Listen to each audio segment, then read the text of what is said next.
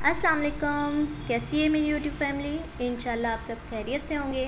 मैं भी खैरियत से हूँ। आज मैं आपके लिए लेके आई हूँ मज़ेदार से सीख कबाब रेसिपी स्टार्ट करते हैं रेसिपी 500 ग्राम मैंने चिकन लिया है।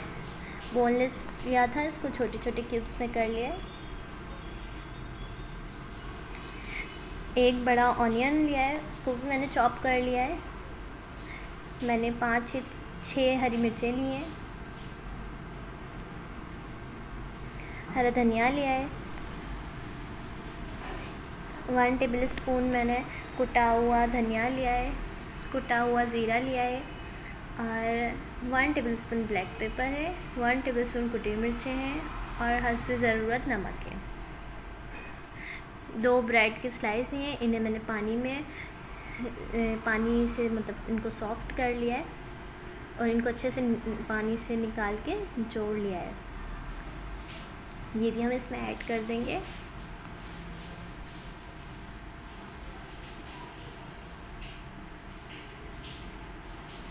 अल्लाह पाक आप सबके घर में रहमतें और बरकतें दे।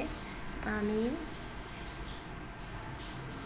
और दुआओं में याद रखिएगा और जल्दी से वीडियो को जाके लाइक करें। चैनल पे न्यू हैं तो सब्सक्राइब करें, बेल आइकन बटन ऑन करना ना भूलिएगा, ताकि आपको मेरी लेटेस्ट आने वाली वीडियो सबसे पहले मिल जाए।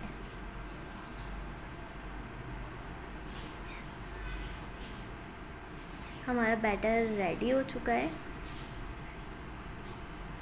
कुछ इस टाइप का था। इसको मैंने बाउल में निकाल लिया हाथ में मैंने ऑयल से वो ऑयल लगा लिया और इनको मैं पहले गोल शेप दूँगी। मेरे पास एक लकड़ी की स्टिक थी, मैंने उससे इसको शेप दिया है। आपके पास जो भी है, हो, आप उससे दे दीजिएगा शेप। सीख मेरे पास अवेलेबल नहीं थी, वरना मैं सीख से देती इसको शेप।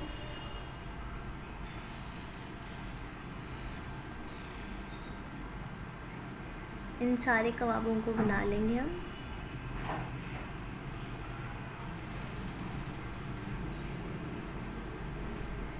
इनको हम हाफ़ फ्राई करके वन मंथ के लिए प्रिज़र्व कर सकते हैं। ऑयल गरम करके इसके अंदर इनको हम फ्राई करेंगे।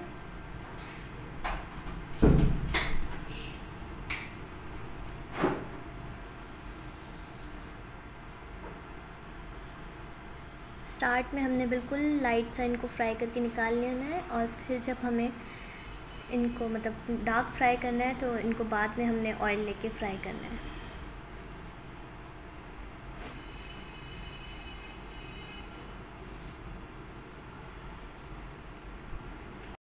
हमारे सीख कबाब रेडी हो चुके हैं। देखें कितना खूबसूरत से कलर है इनका। और बहुत ही ज़्यादा टेस्टी बने थे। सबको बहुत पसंद आए थे। और जो बच्चे थे मैंने इनको प्रिज़र्व कर दिया था। दुआ में याद रखिएगा। अल्लाह हाफ़